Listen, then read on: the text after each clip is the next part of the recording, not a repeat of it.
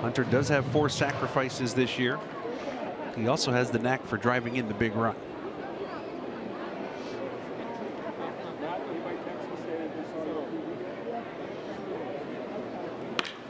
And he may have just done it again.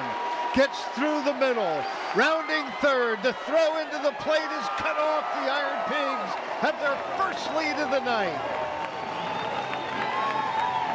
He just continues to come up big. A three-run double to break it open last night.